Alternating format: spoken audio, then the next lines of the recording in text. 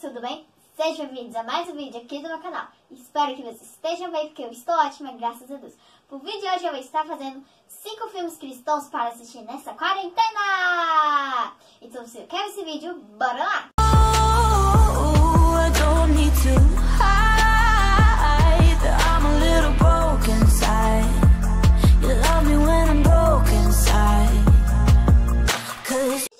vai deixando seu like, se inscrevendo no canal, ativando o sininho da notificação para ficar por dentro de todos os vídeos aqui no meu canal. É só vídeo evangélico, só vídeo cristão, só vídeo legal. Para você saber o que, que vai acontecer aqui no meu canal, assista o meu primeiro vídeo que está aqui nos cards, tá bom? É um dos cards aqui. E também me siga no meu Instagram, que é esse que está aparecendo aqui na tela para vocês. Bora lá! O primeiro filme é Milagre no Paraíso. Bom, gente, esse filme é o seguinte. É uma menina que ela tem uma doença, na verdade ela é uma menina normal, só que depois acontece alguma coisa pra ela ter uma doença. E aí ela fica doente, a barriga dela começa a inchar, ela começa a vomitar, acontece um monte de coisa com ela, enfim. Aí, é, é, tem uma cena que ela cai da árvore, né?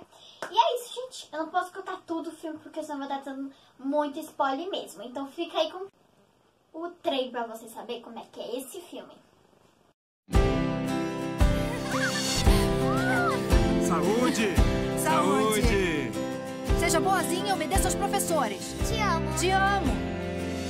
É uma boa vida. É uma boa vida.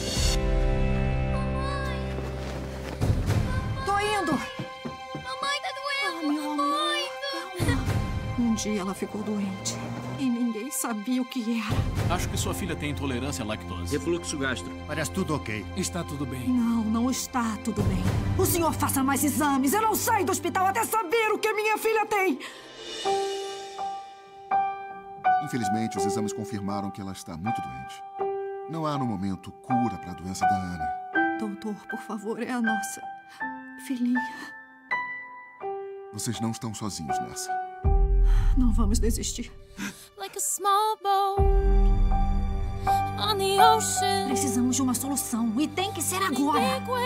Conseguiremos uma. Como? Não perdendo nossa fé. Like how a single word Livre-a desse mal. might only have one man. Está me ouvindo? I can make an explosion.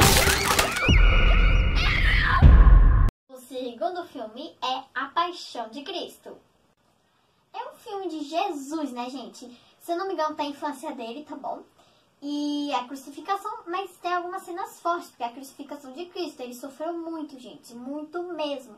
Então tem algumas cenas fortes, mas é muito bom mesmo. Assista esse filme, ele é muito legal.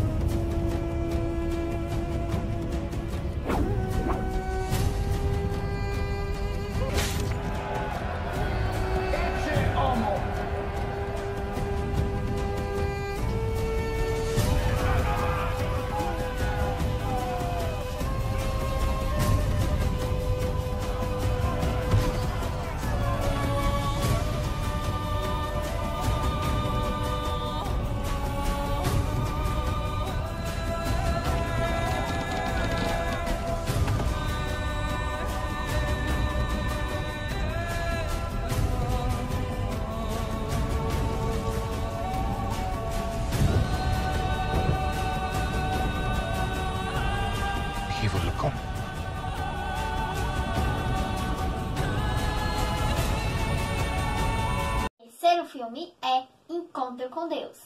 Esse filme é sobre um homem que o casamento dele não tá muito bom, a vida dele não tá bom, porque ele tá longe de Cristo, gente. Você sabe que é, longe de Cristo não é bom, né?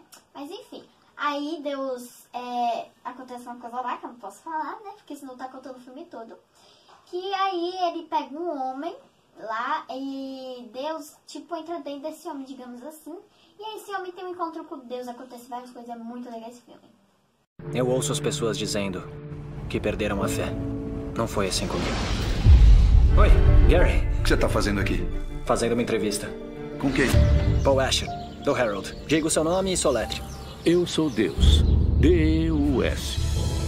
Quero falar sobre salvação. Então tá aqui pra me salvar. Estou lhe dando um grande dom. Sua vida não é um teste para a vida pós-morte. Quem é você? Entrevista com Deus. Quarto filme, Cartas para Deus. Esse filme é sobre um menino que ele tem uma doença, câncer. E aí ele quer mandar umas cartas para o amigo dele, Deus, né, no caso, Jesus Deus. E aí é, ele fica todo dia, coloca, escreve uma carta para Deus e coloca no correio. Aí o homem do correio vem, pega as cartas, e aí ele acaba que va- ele lê uma, ca- uma carta do que o menino escreveu para Deus. E aí o menino, o homem, quer dizer, arruma um jeito para ajudar esse menino. Então, se você quer saber qual é esse jeito, assista o filme.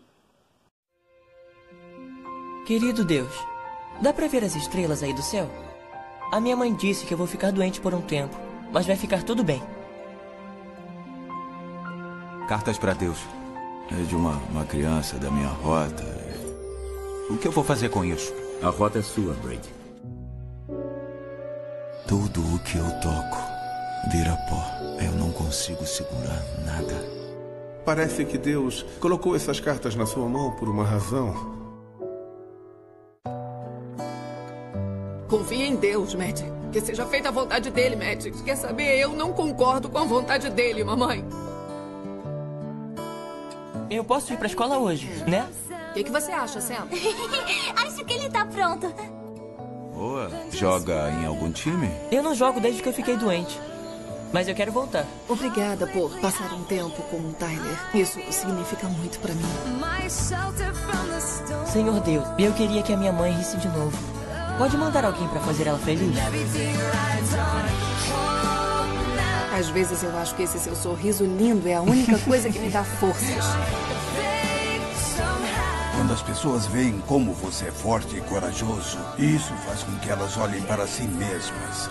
Foi quando Ben escreveu uma carta pra Deus que eu abri os olhos. Você sabe que Deus escolheu você? Ele escolheu você pra ser a minha mãe. O quinto e último filme é Deus Não Está Morto. Um, porque tem o dois, gente. Isso aí, tem duas sequências.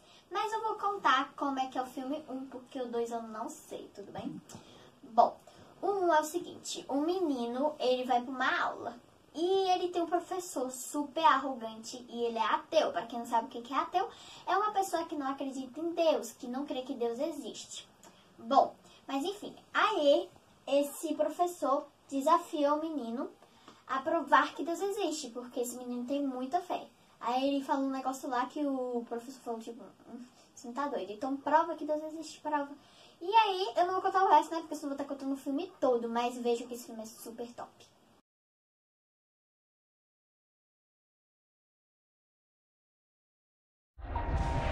Você orou e acreditou sua vida inteira.